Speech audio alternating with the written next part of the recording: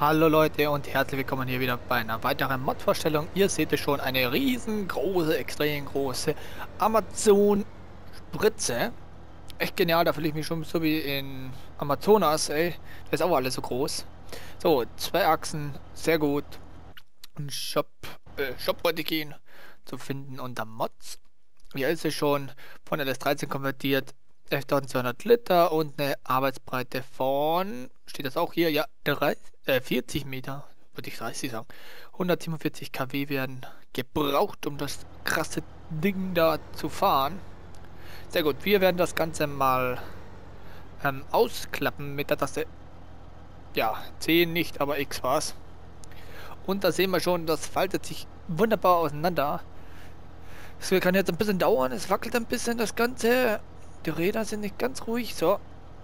Okay, ein bisschen zittrig noch die ganze Angelegenheit, aber das ist, weil das Wasser drin ein bisschen schwankt nach links und rechts, ne, beziehungsweise die Düngeflüssigkeit. So, 40 Meter, also das ist schon mal ein krasses Teil, wie gesagt, schon wie in Amazonas, da sind auch die Bäume so riesig. Wir schalten das Ganze an mit B und fahren mal und gucken, die Animation ist echt der Hammer.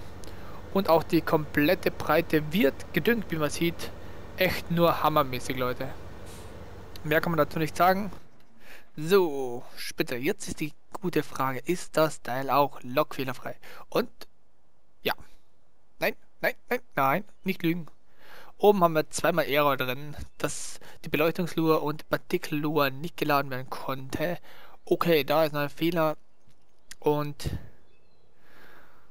die Spezifikation Fallet muss rausgelöscht werden.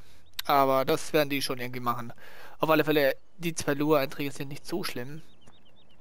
Weil die Beleuchtung, ja okay, ist doch egal, das ist weiß konvertiert ist, Blinker und so haben wir halt da nicht. Gut, aber in diesem Sinne, Top Mod funktioniert. Ich wünsche euch viel Spaß. Tschüss Leute.